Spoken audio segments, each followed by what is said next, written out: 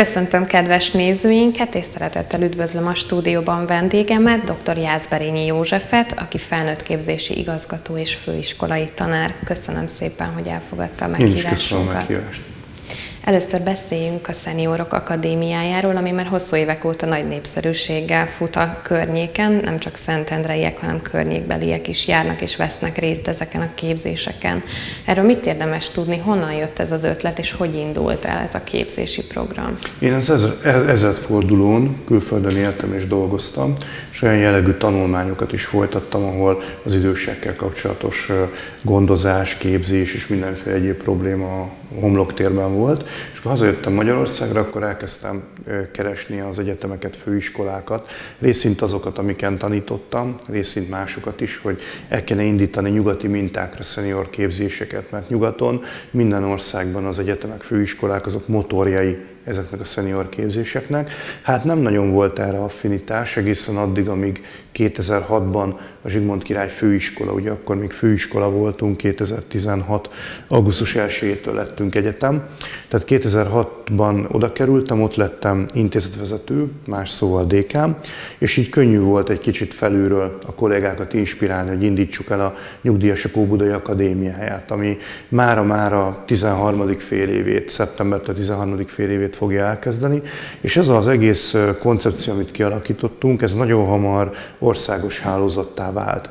És ebben az országos hálózatban Szentendre és Budakalász fontos lépcsőfokok, fontos helyszínek voltak. Szentendrén ma is mindenfél évben 15-16 tanfolyamunk indul el, előadássorozatot tartunk, workshopjaink vannak, konferenciáink vannak, tehát egy nagyon virágzó szenior élet van. Ezt persze hozzá kell tegyem, hogy a Szentendrei önkormányzat átadott nekünk egy, egy épületrészt, ugye a Partmozi épületében egy alsó irodát, illetve három tantermet, és ezekben folyik a, a szenior oktatás Szentendre városában.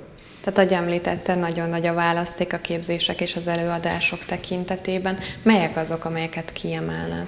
Igen, hát három nagy csoportja van a, a képzéseinknek. A Először szerintem a magukról a, a szemináriumokról beszélnék, mert ezek azok, amik kis csoportban vannak. Én magam is ennek vagyok inkább híve.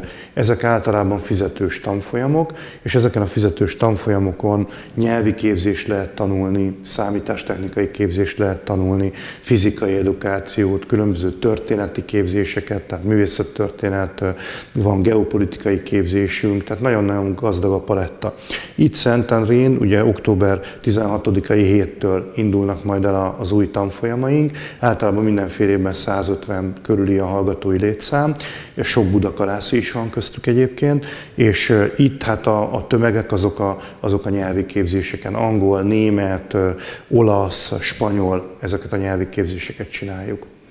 Budakalászon is megjelentek a programok helyi szinten. Milyen programok voltak? Mekkora volt az érdeklődés, és hol tart most ez Igen, a, a Koskároly műfázban voltunk az előző fél években, voltak előadásaink, azon nagyon nagy érdeklődés van, tehát 60-80 fős előadásokat tartottunk, illetve voltak nyelvi tanfolyamaink, amelyeken kezdő és haladó nyelvi képzés is volt. Az utóbbi időben ez egy picit elhalt, úgyhogy azért is örülök ennek, hogyha, hogyha erről beszélünk, mert hogyha vannak nyugdíjasok, akik felveszik a kapcsolatot a művelési házzal, vagy felveszik a kapcsolatot az önkormányzattal, és inspirálják őket arra, hogy segítsék ezeket a képzéseket. Ugye a Zsigmond Király Egyetem nagyon közel van Budakalászhoz, és tudom, hogy rengeteg budakalászi hallgató átjár oda, illetve átjár Szentendrére. De azért, hogyha helyben vannak tanfolyamok, az sem túl rossz. Most mi erre képesek vagyunk, tehát hogyha összeáll egy 8-10 fős csapat, és azt mondják nekünk, hogy tanár úr, mi oroszul, olaszul, spanyolul akarunk tanulni, vagy kezdő számítástechnikát, vagy bármit akarunk akarunk tanulni, akkor mi készen állunk tanári gárda tekintetében. Akkor próbáljuk meg egy kicsit meghozni a kedvet a budakalásziaknak. Meséljen arról, hogy hogy néz ki egy ilyen képzés, ki jelentkezhet, hány éves kortól lehet jelentkezni? Igen, hát a határ, amikor én hazajöttem Magyarországra, úgy húztam meg, hogy 50 plusz. És azóta is, amilyen szenior képzések indultak az országban, azok mind 50 pluszosok. De Ma már azt látom, hogy ez hiba volt, tehát 40 pluszban kellett volna meghúzni a határt, mert ma Magyarországon egy ember, ha 40 fölött elveszíti a munkáját, nagyon kis eséllyel talál magának. Ez hiba volt akkor, ennek következtében azért mi hivatalosan ugye 50 plusz tanítunk, de valaki pár évvel fiatalabb, mint, mint 50, akkor azt sem fogjuk kidobni természetesen a hallgatói körből. A formája az úgy néz ki a képzéseknek, hogy vannak ingyenes nagy előadások, ugye, amelyekre, amelyekre bárki jöhet korosz, korhatár nélkül. Ezeket Szentendrén az önkormányzat épületében tartjuk. Ugye szeptember 27-én kezdődik ez a sorozat, és nagyjából két-három hetente, mindig szerdán 15 órától tartjuk ezeket az előadásokat, egyetemi tanárok különböző témákról. A másik pedig, amit részletesebben mondtam, ezek a kiscsoportos képzések, ezek 21 óra időtartamúak, és a, általában a fizikai képzéseken kívül általában 7 alkalmasok, tehát 7 három órát tartanak a, a tanáraink, ami mondjuk 5000 vagy 10.000 forintos tandíjért, hát meglehetősen, meglehetősen jó. És ez is hozza magával azt, hogy nagyon sokan járnak a mi képzéseinkre, mert általában a nyelviskolák, ha szenior csoportot indítanak, akkor drágában, ha pedig vegyes csoportot indítanak, azzal meg az a veszély, hogy nem biztos, hogy a szenior túl jól érzi magát benne. Tehát nekünk ilyenek a képzéseink. Hol lehet nyomon követni ezeket a képzéseket, illetve hogyan lehet jelentkezni, ha valaki most kedvet kapott? Igen, a Szentendre és vidéke hasábjain rendszeresen közöljük ezeket a, ezeket a hirdetéseinket, milyen tanfolyamok indulnak, hogy lehet jelentkezni, illetve van egy honlapunk, ez a korközpont.szentendre.hu, amire is folyamatosan felkerülnek ezek a tanfolyamok. Hát most ugye még a tanárok július végén még küldik a tematikákat, tehát így lassan rakjuk fel ezeket, de augusztus végétől lehet jelentkezni, és október 16-ai héttel kezdődik, tehát még azért van idő arra, hogy az emberek tudjanak jelentkezni a képzésekre.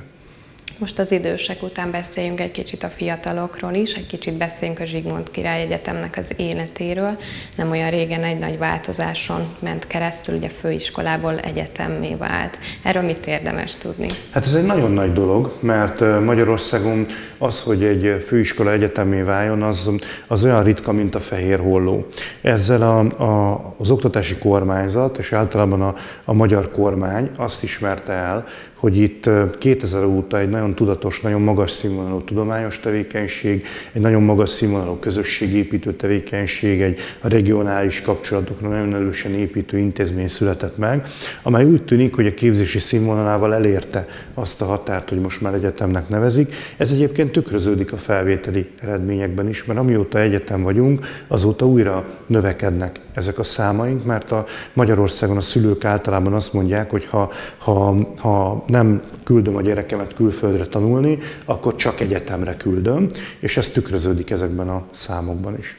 Tehát akkor egyre népszerűbb az Igen, egyetem, azt, kifejezetten. azt lehet egyre több szakunk Igen. van, egyre több képzésünk van, mindenkit szeretettel várunk, fejlesztünk folyamatosan, tehát egy ilyen, egy ilyen fölfelé menő korszakát éli most ez az egyetem tudni a képzésekről? Milyen képzések vannak, milyen képzéseket terveznek indítani, milyen népszerű szakok vannak? Igen, hát nagyon népszerűek a gazdasági képzéseink. Az emberi erőforrás fejlesztéstől a gazdaságmenedzsmentig mindenféle szakunk van. Ezeken nagy számban vannak hallgatók, és merem állítani, hogy a nagy gazdasági egyetemek színvonalán van ez a képzés, tehát nem semmi probléma, nincs különbség.